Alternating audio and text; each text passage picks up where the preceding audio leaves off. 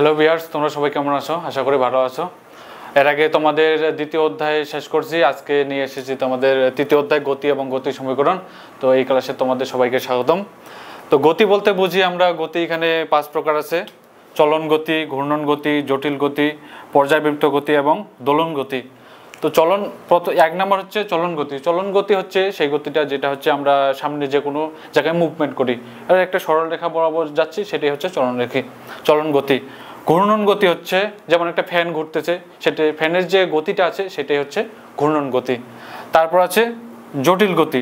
তো জটিল গতিটা হচ্ছে কোনো একটা বস্তু ঘুরতেছে এবং সেই সাথে সে মুভ করতেছে, সেটা কিন্তু হচ্ছে জটিল গতি। তারপর আছে পর্যায়বৃত্ত গতি।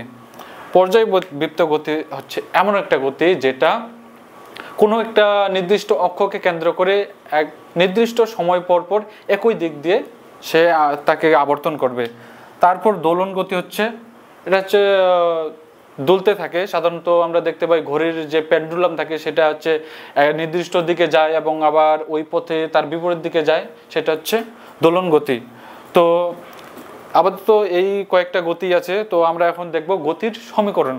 গতির সমীকরণ যদি আমরা দেখি, তাহলে মনে করি এক কোনো, একটা বস্তু ভি সম, ভি সমবেগে সমবেগে ভি সমবেগে অ্যাশ দূরত্ব অতিক্রম করে, দূরত্ব অতিক্রম করে, দূরত্ব অতিক্রম করে টি সময়ে।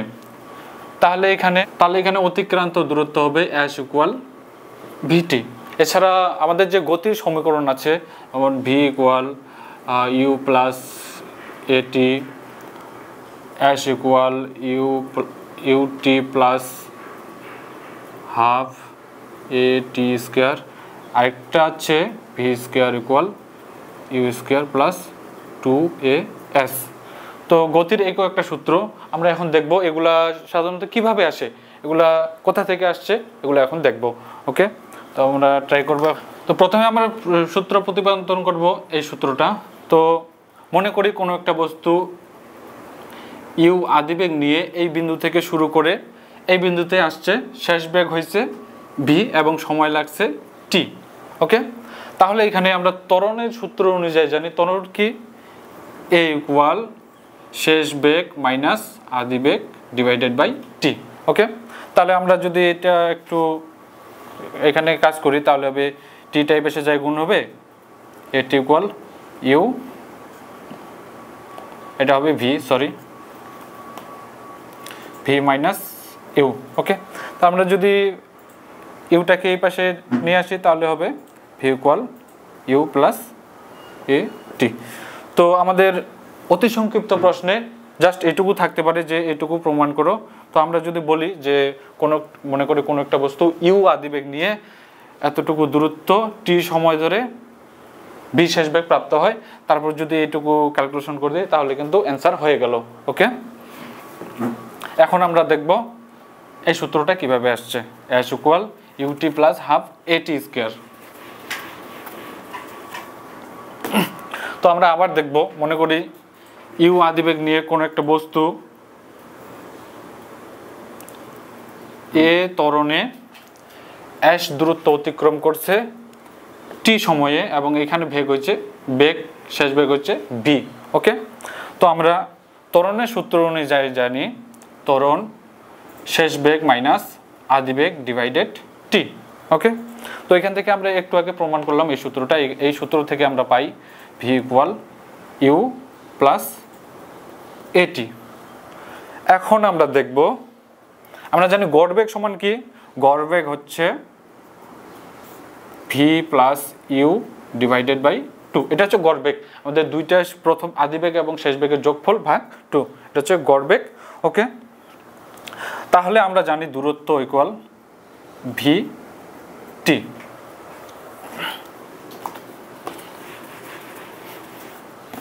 অ্যাজুকাল ভিটি ওকে তাহলে আমাদের এখানে গড় বেগ হচ্ছে U plus V by two into T just V এর মানটা এখানে বসিয়ে দিলাম। আমরা ভি সমান কি পাইছি? U plus at just B এর জায়গায় এখন এটা বসিয়ে দিব okay? U plus U plus at divided by two T okay? তারপর আমরা এখানে এখান থেকে দেখতে পাই two U plus A T divided by T into T okay? এখন যদি আমরা এটাকে ভাঙাই, তাহলে হবে টু ইউ বাই টু আর টির সাথে যদি গুণ করি, তাহলে হবে টি প্লাস এ টিকে গুণ করলে T square by two okay তাহলে এখানে টু টু কাটা U T plus half A T square তো আমাদের এটাও সংক্ষিপ্ত প্রশ্নে আসতে পারে। প্রমাণ করো যে S equal U T plus half at square আমাদের জাস্ট এইটুকু যদি লিখি, আর এখানে জাস্ট বলতে হবে কোনো একটা বস্তু ইউ আদিবেগ নিয়ে এ ত্বরণ ধরে অ্যাশ দূরত্ব অতিক্রম করে টি সময়ে শেষ বেগ ভি প্রাপ্ত হয়। তারপর আমরা এই এই ক্যালকুলেশন করলে আমাদের কিন্তু অ্যান্সার হয়ে যাবে। এটা এটা হচ্ছে আমাদের পরীক্ষায় সংক্ষিপ্ত প্রশ্ন হিসেবে very very important okay next আরেকটা সূত্র আছে, সেটা এখন আমরা দেখব। গতির সূত্র হচ্ছে V square equal U square plus two A S. তো মনে করি ইউ আদিবেগ নিয়ে এই থেকে, এই বিন্দু থেকে একটা বস্তু, এই বিন্দুতে গেল, শেষ বেগ হলো ভি এবং এর যে দূরত্ব সেটা হচ্ছে এস এবং এখানে ত্বরণ এ তো আমরা ত্বরণের সংজ্ঞা হতে জানি এ ইকুয়াল শেষ বেগ মাইনাস আদি বেগ ডিভাইডেড বাই টি ওকে তো এখান এখান থেকে আমরা পাই V equal U plus at এটা আমরা এর আগেও করলাম, তো এখানে আমি ডিরেক্ট লিখলাম ওকে তো আমরা যদি এটাকে বর্গ করি, উভয় পক্ষে V square equal U plus A T whole square okay তো আমরা দেখব U square plus two into U into A T plus A square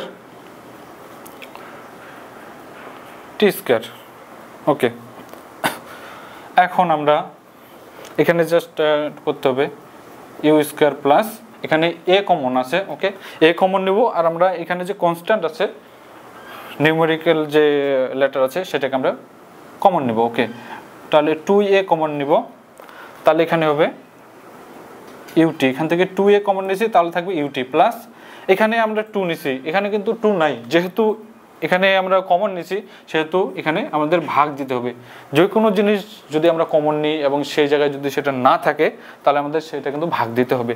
দেখো যে এটা যদি আমি এখান থেকে গুণ করি, তাহলে টু টু কাটা যায়, আবার এটাই থাকবে। এটি স্কোয়ার ওকে তো আমরা এর আগে সূত্র দেখলাম S equal U T plus half A T square দেখা গেছে যে আমাদের এটা চলে আসছে। এটা সমান এস তো আমরা যদি এখানে মান বসাই U square plus two A S তাহলে আমাদের সূত্র প্রতিপাদন হয়ে গেল। আমাদের যতগুলা এখন গতির সমীকরণ প্রতিপাদন করলাম, এগুলোর মধ্যে একটা না একটা কিন্তু অবশ্যই অবশ্যই পরীক্ষায় থাকবে, সংক্ষিপ্ত প্রশ্ন আকারে। এগুলো ভেরি ভেরি ইম্পর্টেন্ট সো এগুলো যদি প্র্যাকটিস করা যায়, তাহলে অন্তত একটা অতি সংক্ষিপ্ত কমন পড়বে, আশা করা যায়। ওকে ওকে আমাদের আরেকটা সূত্র আছে তম টেকে- তম সেকেন্ডে কত দূরে যায়? যদি কোনো প্রশ্ন আসে যে পঞ্চমতম সেকেন্ডে কত যায় বা ষষ্ঠতম সেকেন্ডে বস্তুটি কত যায়, তাহলে আমাদের সূত্র কিন্তু এটা ব্যবহার করতে হয়। তো এটা, এই সূত্রটা আসলে কোথা থেকে এসছে? আমরা জানি যে টোটাল যে সময়, সেই সময়ে দূরত্ব অতিক্রম করে S equal U T plus half at square তাহলে আমরা এখন এটা প্রমাণ করব। এটা সম্বন্ধ এটা টি সময়ে টি সময় অতিক্রম করে এটা। তাহলে টি তম সময় অতিক্রম করে U T minus one plus half A T minus one whole square. Okay? তাহলে আমরা এখন দুটারে বিয়োগ করব। তাহলে আমরা যে এক সেকেন্ডে যে দূরত্বটা আছে সেটা আমরা পাবো। ওকে? তাহলে আমরা দেখি, S T H equal U T plus half A T square minus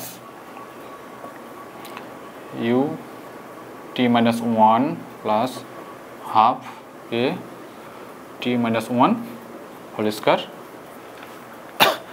okay আমরা এটু, এটুকু পাইলাম। এখন যদি আমরা ক্যালকুলেশন করি U T plus half A T square minus U T minus U plus half এখানে আসবে A plus A minus B whole স্কোয়ারের সূত্র T square minus two T plus one okay এটুক চলে আসলো। এখন আমরা করব U T plus half A T square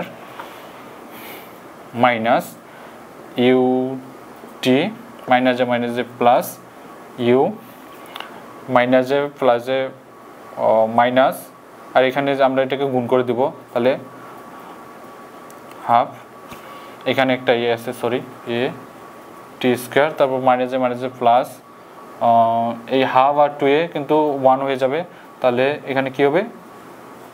এটি তারপর কি হবে? মাইনাস হাফ এ ওকে তাহলে এই half at square half at square vanish হয় U T U T vanish হয় ওকে তাহলে থাকবে U